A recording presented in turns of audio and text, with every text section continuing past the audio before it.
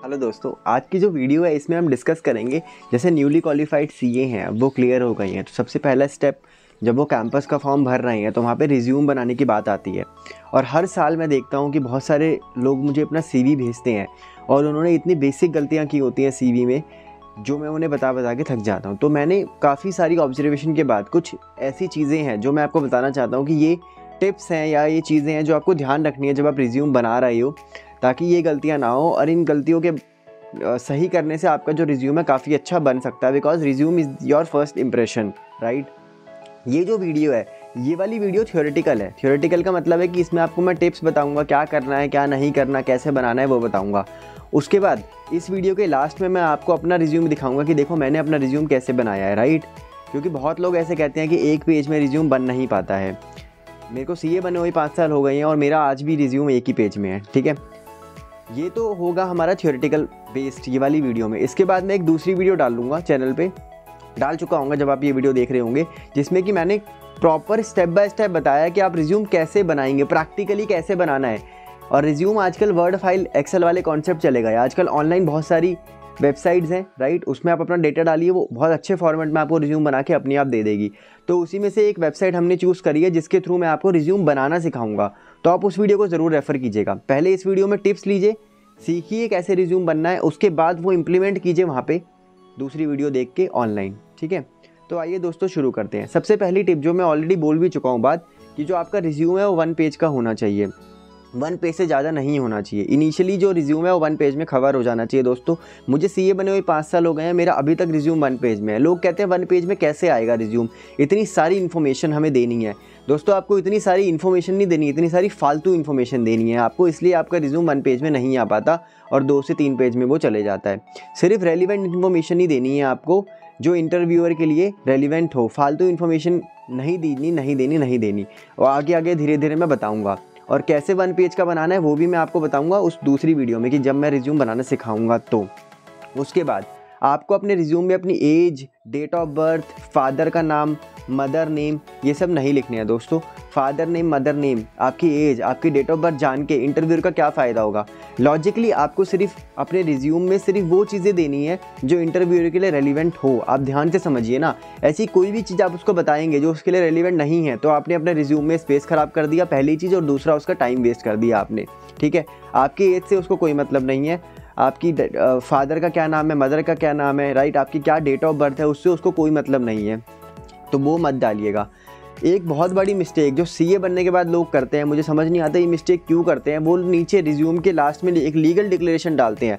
I hereby declare that the above information in true and correct to the best of mind मतलब हँसी आती है ये देख के, यार। ये क्या डाल रहे हो आप, यार? कहीं लीगल कोर्ट में थोड़ी खड़े हो, आप कोई डिक्लेरेशन थोड़ी दे रहे हो जो वहाँ पे आप लीगल डिक्लेरेशन डाल रहे हो। मतलब अगर वो इन्फॉर्मेशन गलत है, क्या कोर्ट में जाके स्यू करेगा? मतलब इंटरव्यूअर के लिए कैसे रेलिवेंट है वो डिक्लेरेशन और दूसरी बात, जिसने वो डिक्लेरेशन नहीं डाली, इसका मतलब उसने झूठ लिखा है रिज्यूमे में। वो डिक्लेरेशन नहीं डालनी है दोस्तों, बात समझिए, आपको नहीं डालनी है वो डिक्लेरेशन कई बच्चे रिज्यूम में डेट डालते हैं प्लेस डालते हैं, अपने साइनिंग की जगह बनाते हैं। अरे रिज्यूम है वो, कोई एफिडेविट नहीं दे रहे हो कोर्ट में। Right covering letter are waste of time जो कवरिंग लेटर्स होते हैं मेरे हिसाब से अच्छा ये सारे ओपिनियन मेरे पर्सनल है। दूसरे बंदे के दूसरे ओपिनियन हो सकते हैं। I am always welcome for another thought ये मेरे पर्सनल थॉट है जो मुझे लगते हैं। कवरिंग लेटर मुझे लगता है वेस्ट ऑफ़ टाइम है। जैसे अब मैंने भी बहुत सारे इंटरव्यू लिए हैं अपनी कंपनी में हायर करने के लिए। अगर मेरे पास कवरिंग लेटर भी आएगा रिज्यूमे भी आएगा मेल भी आएगी, सबसे पहले तो मैं मेल पढ़ूँगा, उसमें मेल बॉडी पे क्या लिखा है। रिज्यूम खोल के तो बाद में देखूँगा। तो रिज्यूम से ज़्यादा इंपॉर्टेंट होती है कि आप जो मेल भेज रहे हो, उसमें मेल बॉडी में क्या लिख रहे हो दोस्तों? आपकी जो मेल बॉडी है, उसके अंदर बहुत क्रिप्स करक्स आना चाहिए, वो भी अभी आपको पता क्या आना चाहिए। लेकिन उसके अंदर सबसे नीचे आपका नाम और मोबाइल नंबर तो आना ही चाहिए, क्योंकि मोस्ट ऑफ़ द टाइम आपने अगर लिख दिया ना कि मैं चार्टेड अकाउंटेंट हूँ, मेरे को इस प्रोफ़ाइल के लिए अप्लाई करना है डैट्स वही देख के आपको कॉल कर लेते हैं, क्योंकि लोगों को क्या है, पढ़ने से ज़्यादा सुनना पसंद है। वो कहेगा छोड़ना मैं रिज्यूम पाँच मिनट पढ़ूँगा, फटाफट कॉल कर। उसको चार क्वेश्चन जो पूछने होंगे ना, वो आपसे फ़ोन करके पूछ लेगा rather than wasting time reading your resume है राइट तो मेल बॉडी बहुत इंपॉर्टेंट है। इसके अलावा even in the body of email आपको मैक्सिमम तीन सेंटेंस में अपनी बॉडी ऑफ़ ईमेल खत्म करनी है। सबसे पहले आपको करंट प्रोफ़ाइल करंट कंपनी लिखनी है। अगर आप कहीं जॉब कर रहे हो, अगर नहीं कर रहे तो आप आर्टिकलशिप फॉर्म लिख सकते हैं। अगर आपकी आर्टिकलशिप अच्छी थी, अगर बहुत बड़ा ऐसा कोई नाम नहीं है तो अगर आपने किसी एक पर्टिकुलर प्रोफ़ाइल में काम किया जैसे लेट सपोर्ट इंडायरेक्ट टैक्स और इंडायरेक्ट टैक्स में ही आप अप्लाई कर रहे हैं तो आप लिख दीजिएगा कि मेरी आर्टिकलशिप के दौरान मैंने सिर्फ़ इंडायरेक्ट टैक्स में काम किया, इससे वेटेज बढ़ेगी। उसके बाद आप सिंपल ये लिख सकते हो कि kindly provide me an opportunity of interview simple आपको ये लिखना है मतलब उससे आपको भीख नहीं मांगनी कि मुझे जॉब चाहिए, नहीं.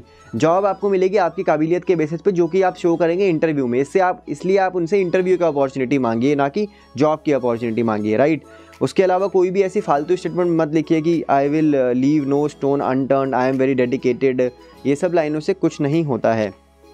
कोई भी सीवी ब्लाइंडली आपको सेंड नहीं करना है किसी को राइट और आपको प्रॉपर उसमें टारगेटेड प्रोफ़ाइल ज़रूर लिखनी है दोस्तों, कि वो टारगेट प्रोफ़ाइल क्या जैसे अगर आपने बिग फोर के एचआर को सीवी भेजा, वहाँ पर आपने प्रोफ़ाइल नहीं लिखी तो वो सी वी वेस्ट है, क्योंकि बिग फोर में इतनी सारी प्रोफ़ाइल है audit indirect tax direct tax transfer pricing corporate tax कहाँ देगी वो आपका सीवी राइट तो आपको प्रोफ़ाइल के लिए तो बड़ा ही क्लियर होना है कि आपको प्रोफ़ाइल आप क्या कर सकते हो दो तीन मेल बना सकते हो, जैसे ऑडिट के लिए मेल अलग चल रही हैं आपकी इंडायरेक्ट टैक्स के लिए डायरेक्ट टैक्स के लिए, लेकिन बड़ा, थोड़ा क्लियर रखिएगा अपनी उसको ना। आपकी जो सीवी में हॉबीज़ लिखते हैं कई बच्चे तो ऐसी कैसी कैसी हॉबीज़ आपकी सीवी के अंदर ऐसी अजीब और गरीब हॉबी नहीं आनी चाहिए जिससे इंटरव्यूअर का कोई फ़ायदा नहीं, जैसे watching movies reading reading books reading books वैसे हॉबी ठीक है बट कई बारी लोग जनरली झूठ लिख देते हैं रीडिंग बुक्स अगर आपको जेनवनली रीडिंग बुक पसंद है तो ही लिख लीजिएगा ठीक है? उसके अलावा internet using internet watching web series ये सब लिख देते हैं लोग। ये सब मत लिखिए दोस्तों। अपने फादर मदर वाइफ स्पाउस का नाम नहीं लिखना है, मैं पहले भी आपको बता चुका हूँ। कई बच्चे क्या करते हैं M S office M S excel star rating दे देते हैं। आप ऑफ़ फाइव स्टार में थ्री स्टार में वो कलर कर देते हैं कि थ्री स्टार किसने दिया आपको स्टार आप खुद को अपने आप को स्टार दे रहे हो। स्टार देने की ज़रूरत नहीं है। एक तो आप थ्री स्टार में टिक करते हो डैट मीन्स आप पूरी तरह वो नहीं हो। आप सिंपल अगर आपको स्किल है, आपको आता है टेली माइक्रो आप लिख दीजिए, आपको आता है। स्टार वगैरह मत दीजिए, कोई रेटिंग वगैरह मत दीजिए। लोग कई बार लैंग्वेज लिखते हैं। लैंग्वेज में लिख देते हैं Hindi English Telugu right Hindi English तो बिल्कुल लिखनी नहीं है। अरे हिंदी इंग्लिश तो इम्प्लाइड ही है ना, आपको आती होगी अगर आप इंडिया में रहते हैं तो। हिंदी इंग्लिश से क्या फ़र्क पड़ेगा? अगर आपको कोई थर्ड लैंग्वेज आती है, कोई बाहर की लैंग्वेज आती है, कुछ अलग आता है तो वो मैंशन कीजिए लैंग्वेज अदरवाइज़ हिंदी इंग्लिश के लिए मत मेंशन कीजिए। एक अगली टिप आप पूरे सीवी में ना फॉन्ट साइज़ ज़रूर चेक कीजिए कि भाई क्या फॉन्ट आप हेडिंग के लिए यूज़ कर रहे हो, क्या फॉन्ट आप पैराग्राफ के लिए यूज़ कर रहे हो, ये बहुत ज़रूरी है। मैंने देखा ऊपर लोग एरियल यूज़ कर रहे हैं, नीचे जॉर्जिया यूज़ कर लेते हैं एकदम से। हेडिंग का फॉन्ट अलग जा रहा है। ये बहुत इंपॉर्टेंट है। आपकी ऊपर वाली हेडिंग जहाँ से शुरू हुई है, नीचे वाली हेडिंग उसके आगे से शुरू हो गई या उसके पीछे से शुरू हो गई। ऊपर वाली बुलेट और नीचे वाली बुलेट में साइज़ का फ़र्क है। अलाइनमेंट ठीक होनी चाहिए। फॉन्ट ठीक होना चाहिए। फॉन्ट का साइज़ ठीक होना चाहिए। पूरे सीवी को ग्रामेटिकली एक बार अच्छी तरह गोथू कर लीजिएगा। इंग्लिश वाइज अगर आपको इतनी अच्छी इंग्लिश नहीं है तो किसी से रिव्यू करा लीजिएगा। ये ना हो आपने ग्रामेटिकली बहुत सारी मिस्टेक की हो, या फिर इंग्लिश की वजह से आपकी उसमें मिस्टेक्स नहीं होनी चाहिए। ये सब चीज़ें चेक कर लीजिएगा। कई बार आप कॉपी पेस्ट कर लेते हैं चीज़ों को और वहाँ पे इंग्लिश गलत लिखी होती है ग्रामेटिकल मिस्टेक्स होती हैं। या फिर कोई ऐसी चीज़ है जो आप वहाँ पे लिख देते हैं जिसकी फुल फॉर्म सामने वाले को नहीं पता लेट सपोज़ आपने लिख दी वहाँ पे बट नहीं पता राइट तो ऐसी चीज़ मत लिखिएगा शॉर्ट फॉर्म इतनी भी यूज़ मत कीजिएगा। स्पेल चेक वगैरह प्रॉपर कर लीजिएगा। कई बार मैंने देखा है कि लोग लिंकड प्रोफ़ाइल अपनी डाल देते हैं राइट लिंकड प्रोफ़ाइल डाल तो देते हैं बट अगर उनकी लिंकड प्रोफ़ाइल में कोई जाए तो वहाँ पर कुछ भी नहीं होता। ना वहाँ पर कोई अपडेट होती है, ना वहाँ पे आपकी प्रॉपर फ़ोटो अपडेटेड है, ना आपका एक्सपीरियंस अपडेटेड है। तो अपनी लिंकड प्रोफ़ाइल का अगर लिंक डाल रहे हो तो लिंकड प्रोफ़ाइल को वेल मेंटेन रखो, उसको अपडेटेड रखो, उसको ठीक ठाक रखो। ये नहीं जस्ट लिंक फेंक दिया वहाँ पे, नहीं। लिंकड प्रोफ़ाइल को मेंटेन रखने में अपने आप में एक प्रॉपर वीडियो बन सकती है, वो भी मैं ट्राई करूँगा कि बनाने की कोशिश करूँ। जो सीवी होती है ना दोस्तों, वो नए फॉर्मेट में बनाना शुरू करे। जो पहले के फॉर्मेट्स मैंने देखे हैं कि पहले के भाई बस फॉर्मेट चलते आ रहे हैं आजकल इतने यूनिक फॉर्मेट्स आ गए हैं। वो दूसरी वीडियो आप ज़रूर देखें मेरे, उसमें बहुत सारे मैं एक ऐसी वेबसाइट पे सीवी बनाना सिखाया जहाँ पे बहुत सारे फॉर्मेट ऑलरेडी अवेलेबल हैं तो वहाँ से आपको हेल्प मिल सकती है। सीवी के अंदर कंटेंट जो आप डालते हो, अगर आप टेबल्स यूज़ कर सकते हो तो वो भी एक अच्छी बात है। Rather than putting content in bullets if you can use tables right to show your experience या to show your client name अगर टेबल टेबल वगैरह यूज़ करोगे तो बहुत सारा स्पेस बचेगा। अगर आप सीवी में फ़ोटो लगा रहे हो तो प्रोफेशनल फ़ोटो होनी चाहिए। ये नहीं कि आपने सेल्फी ली हुई है फ़ोन से। अनप्रोफेशनल आप कपड़ों में हैं, कहीं पहाड़ों में मतलब कहीं भी ऐसी जगह पे हैं जो कि प्रोफेशनल फ़ोटो नहीं है तो मत लगाइएगा। लगाओगे तो प्रोफेशनल होनी चाहिए फ़ोटो सीवी के अंदर जो है, अगर आप ईमेल आईडी डाल रहे हो तो वो भी प्रोफेशनल होनी चाहिए। ये नहीं कि लेट से मेरा नाम सचिन है। Sachin love at the rate one two three नहीं प्रोफेशनल ईमेल आईडी यूज़ कीजिए। सीवी पूरा सीवी सिर्फ़ और सिर्फ़ सच बोलना चाहिए आपका। कोई भी चीज़ सीवी में ऐसी ना लिखें दोस्तों जो झूठ हो और आपने ऐसे ही लिख दी हो। बिकॉज़ अगर आपसे वो चीज़ पूछ ली जाएगी तो अच्छा इंप्रेशन नहीं पड़ेगा। अच्छा एजुकेशन डिटेल में मैंने देखा बच्चे क्या करते हैं? टेंथ से शुरू होते हैं। टेंथ मैंने ये क्लियर करी। मेरी ये सी थी eleventh twelfth C P T I P C C first group second group final first group second group मतलब थर्टी से फोर्टी परसेंट स्पेस आपने ख़राब कर दिया अपने सी का। एजुकेशन डिटेल में आपको शुरू होना है ग्रेजुएशन से और उसमें सिर्फ़ दो तीन चीज़ें लिखनी है। सबसे पहले तो ग्रेजुएशन में क्या करी? B com B com honours किस ईयर में पास करी? बात ख़त्म।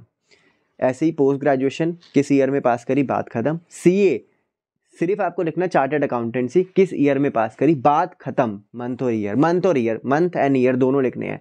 पूरी कहानी मत लिखिए दोस्तों कि सी सीपीटी का अगर अगर आप सीए हैं तो सी सीपीटी तो पास करी ही होगी ना आईपीसीसी पास करी ही होगी।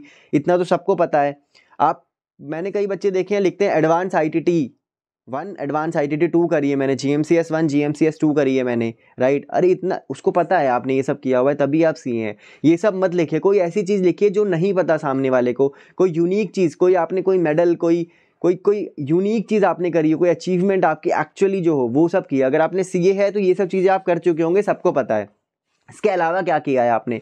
वो मेंशन करना है। तो एक बार अपना सीवी बनाने के बाद या तो किसी से रिव्यू कराइए या खुद रिव्यू कीजिए कि भाई अगर आप इंटरव्यूअर होते तो क्या फालतू इन्फॉर्मेशन आपको लग रही है? मैं तो उसी एंगल से देखता हूँ कि इंटरव्यूअर को क्या फालतू लग रहा है राइट तो उस एंगल से ज़रूर आप देखिए अपने सीवी को, ठीक है?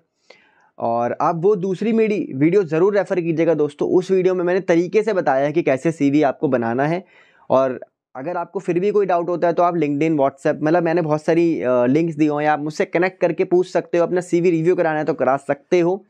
बाकी लेकिन सीवी तरीके से बनाइएगा वीडियो को ज़रूर रेफ़र कीजिएगा और चैनल को ज़रूर सब्सक्राइब कर लीजिएगा सो डैट आपको इसी तरह की यूज़फुल वीडियो मिलती रहे। अब सभी को ऑल दी बेस्ट दोस्तों। बाय दोस्तों, ये वीडियो में बता रहा हूँ, अपना सीवी मैं इसमें दिखा रहा हूँ मैं बता रहा हूँ कि एक पेज में कैसे सीवी मैंने बनाया। जैसे लोग कहते हैं कि एक पेज में कैसे बनाए हम सीवी राइट तो देखो, सबसे पहले मैंने अपना नाम डाल दिया डेजिग्नेशन डाल दी। यहाँ पे कॉन्टैक्ट इन्फॉर्मेशन आ गई, यहाँ पे हल्की सी प्रोफ़ाइल मैंने डाल दी कि क्या क्वालिफिकेशन वगैरह थी। उसके बाद मैंने अपना प्रोफेशनल एक्सपीरियंस एक साथ डाल दिया यहाँ पे और पीरियड डाल दिया, ठीक है? उसके बाद ये पूरी मैंने अपनी एक्सपीरियंस डाल दिया कि मैंने आज तक क्या किया है, वो करेक्ट में डाल दिया यहाँ पे राइट और उसके बाद मैंने अपनी स्किल्स डाल दी लेफ़्ट में मैंने अपनी और जो एजुकेशन क्वालिफिकेशन है, वो यहाँ पे डाल दी सारी, जितनी भी है मेरी शॉर्ट में। अचीवमेंट डाल दी देन क्लाइंट की इंडस्ट्री डाल दी कि मैं किस इंडस्ट्री में मैंने, किस क्लाइंट इंडस्ट्री में मैंने काम किया रहता then putting all client name तो इसी तरीके से आप सी बना सकते हैं। आप चैनल को सब्सक्राइब कीजिएगा। इस चैनल पे हमने सारी वीडियो बनाई है, कैसे सी बनाना है, क्या टिप्स है, सब कुछ मैंने बताया है। तो आप चैनल ज़रूर सब्सक्राइब कीजिए।